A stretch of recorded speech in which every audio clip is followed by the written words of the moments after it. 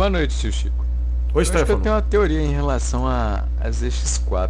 Talvez hum. vá começar devagar aqui, não saia, chegue em lugar nenhum, mas vamos lá. Bora.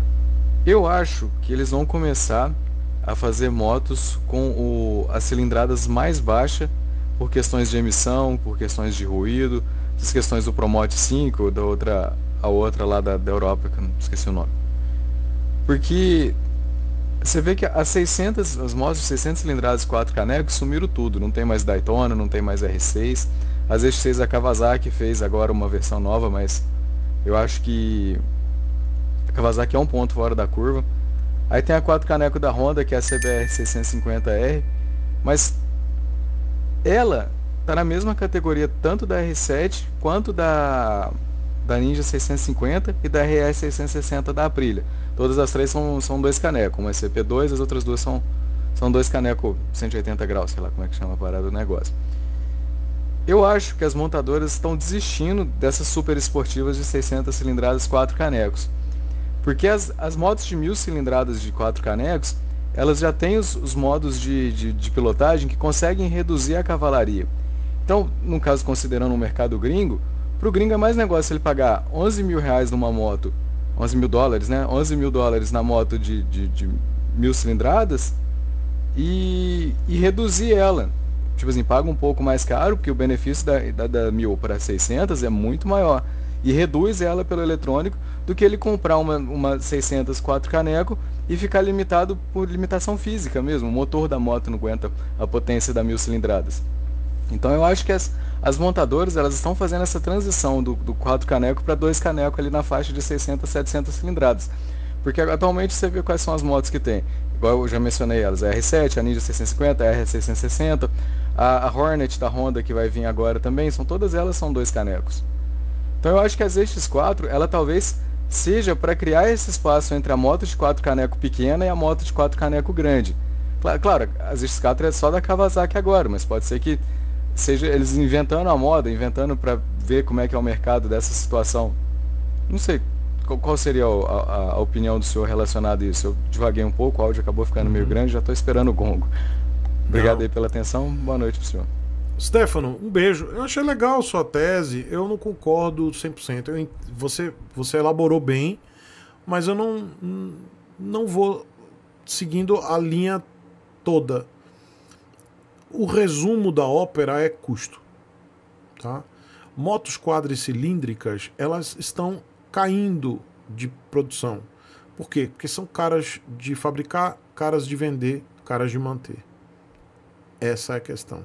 Então, já há alguns anos, as montadoras têm focado nas bicilíndricas, tricilíndricas, mas principalmente nas bicilíndricas. Vocês estão vendo que até a Honda agora decidiu também ela está saindo aos poucos da linha quadricilíndrica. Então as linhas, as motos quadricilíndricas, elas vão ficar para uma categoria mais cara. São motos bem mais caras porque são, pelo que eu falei, caras de fabricar, caras de vender, caras de manter. E tem essa questão de custo. Não é somente a questão da emissão de gases. Isso aumenta o custo de produção e desenvolvimento, tá? Isso aí está no, no bolo. Mas é custo. É quanto vale quanto vale para fabricar, vender e manter. Aí manter com a gente. Então são motos que o cara pensa duas vezes. Pô, eu vou pegar uma bicilíndrica que vai me entregar o mesmo e é mais barata. São motos mais baratas para se produzir, né? Quando se fala em montadora, em fabricante. Então essa é a questão, tá? E aí quando vai para a ZX4R, a questão é que ela faz sentido na Ásia, porque na Ásia existem alguns países que a categoria de habilitação é de até 400 cilindradas. Japão é assim.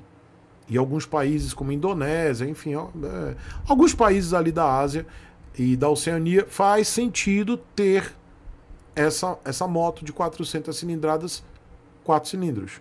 Por quê? Porque a habilitação é segmentada, A1, A2, A3, enfim. Então até 400 cilindradas, acima de 400 cilindradas, a gente não tem isso. Então a Kawasaki ela viu uma oportunidade de testar ou trazer essa moto aqui para o Ocidente e ver se realmente ela, pelo fato de ser uma moto mais barata, mais barata do que uma 1000, mais barata do que uma 900, Então, e é uma moto esportiva que tem uma excelente performance. Então eles estão avaliando, estão testando. Então, tá, vamos botar essa moto aí para ver e vamos, vamos avaliar. Aí eu, por isso que eu digo que sua tese ela é boa, mas eu não concordo 100%, porque tudo é custo. E não porque eles, eles vão tentar simplesmente por tentar e para e porque eles vão tirar as motos. Moto 4 cilindros vai ser uma moto que vai sumir com o decorrer dos anos. Vai sumir, vai ter tipo uma linha específica para cada montador e olhe lá, tá? Então, essa moto quadricilíndrica de 400 cilindradas, ela ela tem ela faz sentido na Ásia e na Oceania, em alguns países, tá? E questões de isenção fiscal para algumas cilindradas. Alguns países, principalmente é, Indonésia, existem motos da Kawasaki, existe uma moto de 250 cilindradas de 4 cilindros. Por quê? Porque tem isenção fiscal para esse para essa cilindrada.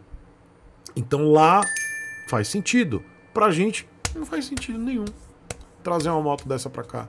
Então a Kawasaki Brasil, ela, ela entendeu que, bom, essa moto ela pode fazer sentido aqui no Brasil, porque ela vai ser mais barata do que uma quadricilíndrica esportiva. Então a gente pode conseguir vender num preço menor e competir com a, a Honda, a 650 quadricilíndrica.